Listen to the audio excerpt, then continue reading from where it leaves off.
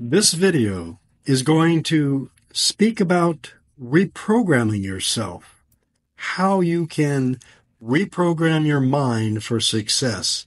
If you just want beginner or basic stuff, this video is not for you. However, if you want some real, practical, specific manifesting tips, stick around to the end. This will be super practical and powerful.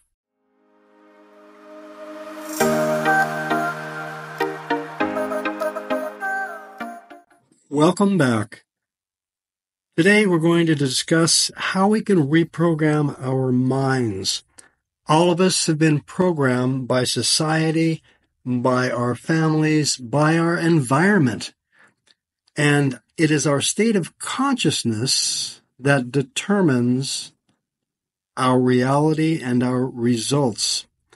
Our brain, our mind, which is on a, in simple terms, divided with the conscious, what we are aware of, and the subconscious, what we are unaware of that controls 95% or more of what we actually think, believe, and do in our lives.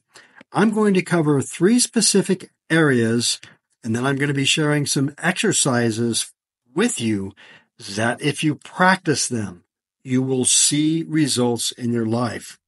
The three areas I'm going to cover are the need to self examine. And secondly, I will discuss our self concept, our self image of ourself, and the important part that plays.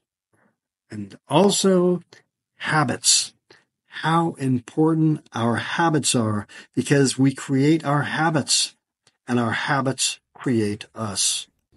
Have you ever felt that you're like a hamster on a wheel? Someone who's working hard but not achieving your goals? Feeling you're stuck and not making the progress you desire?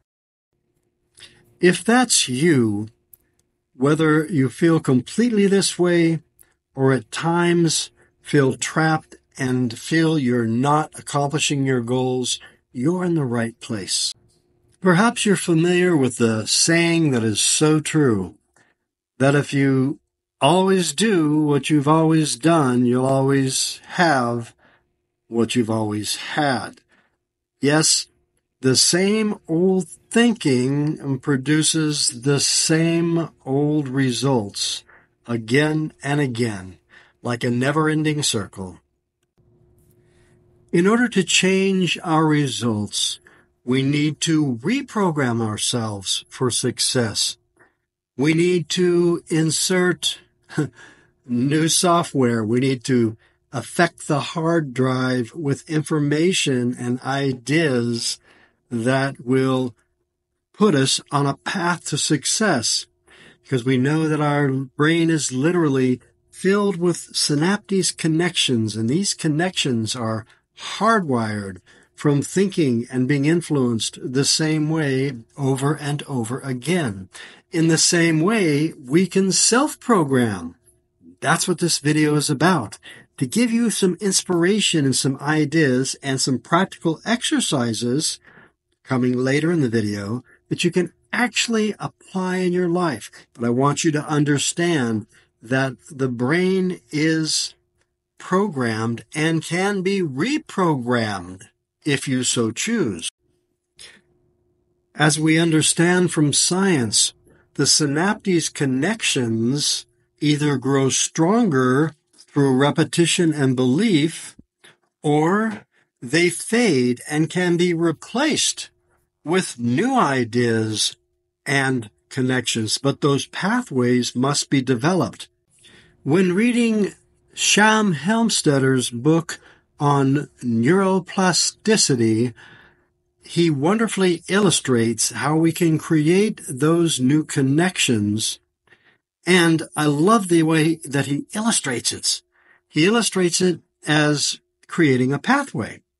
So as you see on your screen, the pathway, notice there's a pathway that's either been developed or is being developed by repeatedly walking over that path. It even looks as though this pathway could easily be run over again by the forest and dissolve, or it can be reinforced. Our goal is to reinforce those new ideas and beliefs as real in our lives. And just like a pathway, when you walk through the forest, for example, the first time you walk through from one spot to another, maybe crossing through to reach a beautiful meadow or river or waterfall, discovering it perhaps for the first time, there is no pathway. But if you repeatedly walk across that same section of the forest, you'll gradually press down the, the grass and knock away the bushes and gradually create a path. And then that pathway eventually becomes a paved road, so to speak, and eventually like a highway from one thought to another, connecting your beliefs and reprogramming yourself. Self-examining developing a new self concept and creating great habits is a wonderful and powerful way to accomplish this.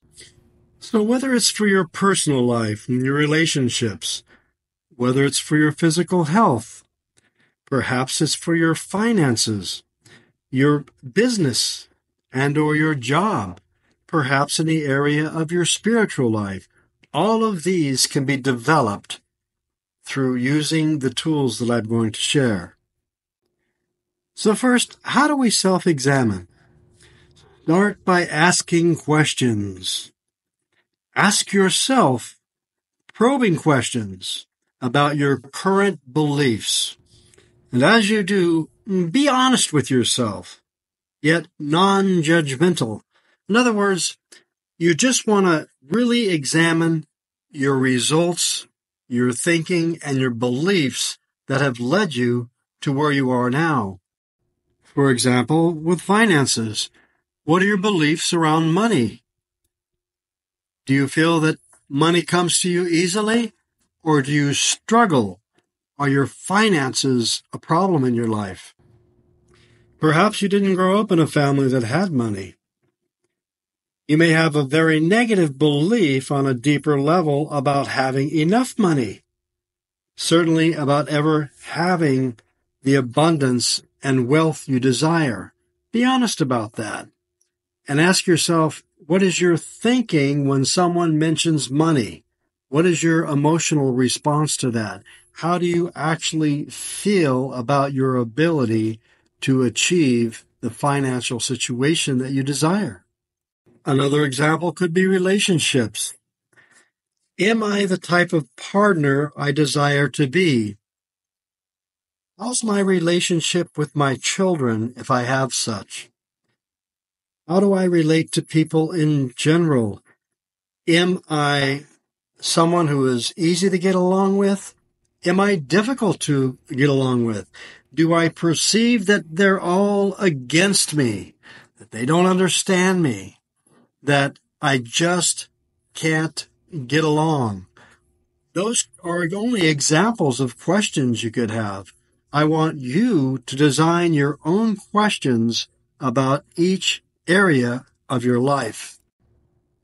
I encourage you to actually take a notebook and at the top of the page, put the subject, be it relationships, be it your finances, be it your health, or another area of your life and write out the question and give the honest answer and see where there could definitely be room for improvement. In other words, whatever the negative situation is, what would the opposite of that look like? So in looking at where your limitations are, look at where you would like to be to be the person that has and lives the life that they wish to live. The idea is that you need to know thyself before you can seek to change thyself. And so be honest and just let your pen flow. This may take even several days, but keep at it and do this daily until you really see yourself for what you truly are. Now I'm going to get to some exercises shortly that will actually help you rewire your brain, rewire your thinking, and change your self concept and your habits. But first, let's take a look at those two. First, your self concept. What is the self concept? I love how Neville Goddard words it in the book The Power of Awareness in chapters 3, 4, and 5. He says that your self concept is all that you believe and consent to and accept as true for you. It's your attitude toward yourself and others. Aha! Now, if you've followed the first step of self examination, now you understand what you believe and consent to and accept as true for you, such as, uh, for example, I'm weak. I'm insecure. I'm not loved. Or is your self concept, I'm strong, I'm secure, and I'm loved. In other words, you've examined yourself honestly, non-judgmentally, and now you know where your weaknesses and limitations are. And now you want to see how you can change and become the opposite and change that self concept of what you believe, consent to, and accept, and your attitude to become the person that you wish to be, that will have the things and achieve the goals that you seek to achieve. Understand, you don't get what you want. You must be it to achieve it. And that leads us to the third aspect, which is habits. Creating great habits. And these must be ingrained on a subconscious level in order to become a permanent part of our being, the way we are. To transform ourselves, we have to transform our thinking. And that's where the work comes in. Yes, I said work, and it's not a dirty word because this should be a process you're rewarding yourself for by transforming yourself to be the person you wish to be. And so you have to transform your thinking. You have to change your mind and develop those synaptic connections with those new pathways that we discussed earlier in becoming the person that you wish to be. Now, I hope this is all coming together for you. Although this is deep, I've done my best to simplify it so that you can now understand that you're setting yourself up for believing that you need to use the exercises that I'm going to give you because it is only through the development of yourselves by transforming your thinking, developing a new concept of yourself.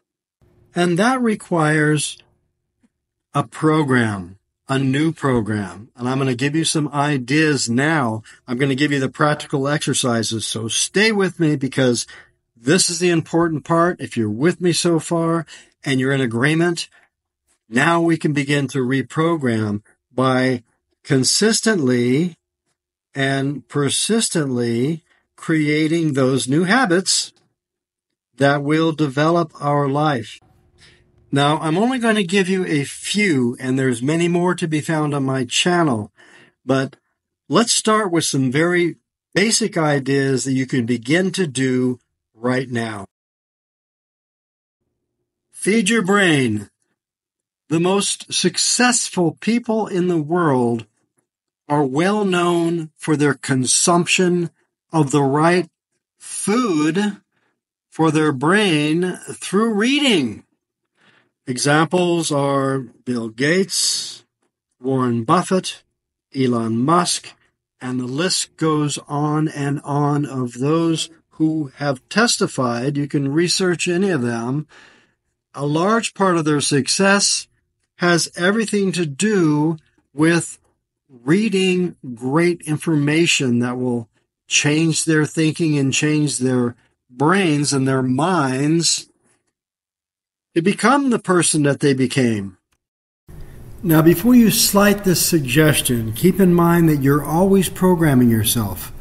When you watch television, when you listen to the radio, when you check your media, when you watch YouTube videos, all day long we're actually feeding our brain, but are we feeding it with healthy food? Now, you should be feeding your mind with healthy material all the time. And one of the best ways is, yes, good old fashioned reading. And I'm going to share with you a few books that have really helped me, especially over the last few years. I highly recommend this book. It's entitled The Last Law of Attraction book you'll ever need to read. Now, it's amazing because it's just full of exercises and processes that you can practice that actually work. They actually affect your success. So definitely purchase or look for this book online. It is absolutely amazing. Another that I highly recommend is by the other author that I read, and I read this and the others during COVID, and they actually moved me and changed my life so that I was actually able to move to my beach life that I'm currently experiencing in the Philippines. Feeling is a Secret goes deeply into the subject of the subconscious mind and how to develop and change your subconscious mind. The power of awareness is fundamental to Neville Goddard's teachings. Highly recommend this book. I've read it hundreds of times and I continue to read it on a regular basis. One of the best ways to feed your mind with Neville Goddard's teachings is the Neville Goddard Collection, which has the books I just named that is, The Feeling is a Secret and The Power of Awareness and all 10 of Neville's primary books that teach you how to become conscious and aware of your desire and manifest your desires. And he goes into detail on the processes of changing your mind. Another is very simple but extremely powerful. We've heard about scripting.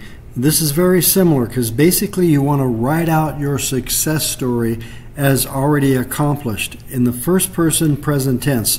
So, from the earlier uh, discussion about uh, really examining yourself and finding out your limiting thinking and weaknesses, and then really perceiving what would be the opposite of those limits.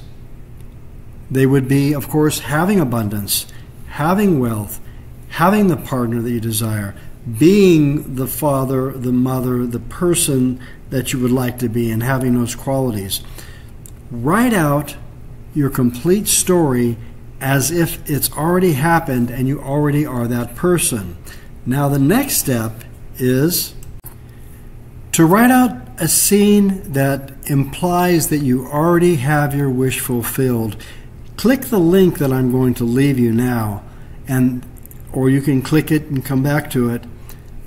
It's the scene of your imaginal act in other words, this is the end scene, the very conclusion of what it would be like, what it would feel like, and what would happen were you to accomplish your goals. For example, you've already got that amazing job, you've manifested that tremendous job with that great income, and now perhaps you're either with the director who's congratulating you or you're out with friends at dinner perhaps and they're telling you how marvelous it is that you've got this amazing position now and how amazing your life is.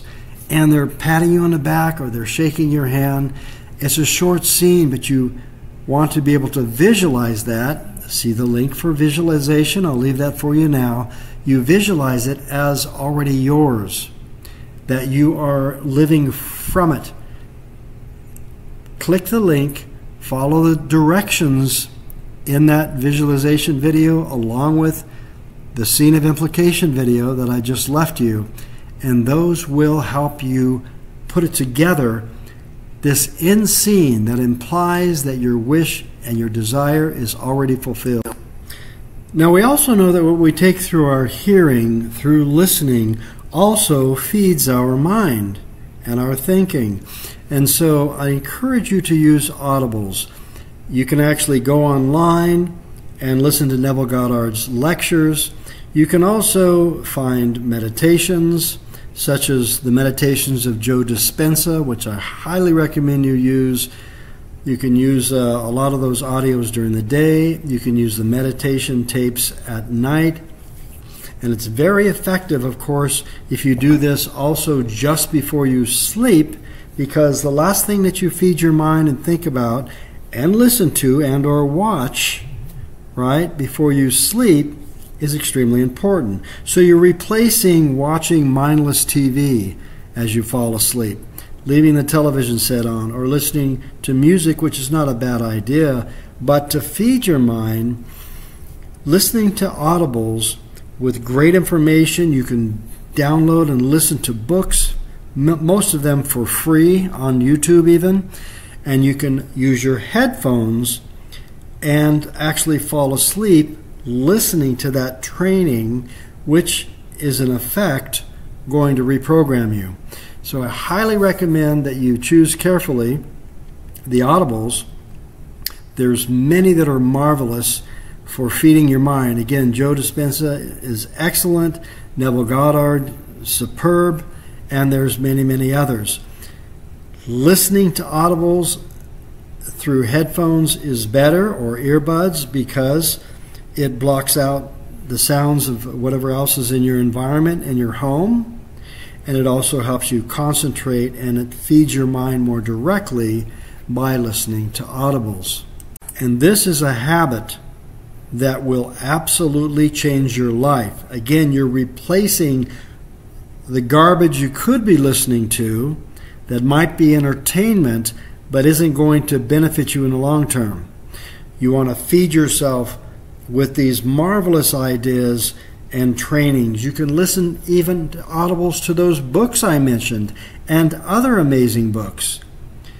And then actually practice what is given.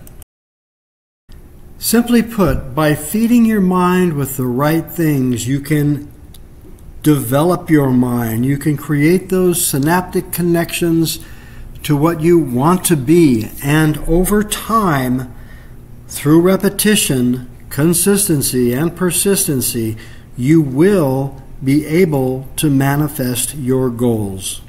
If you found value today, click my playlist at the end of this video for much, much more.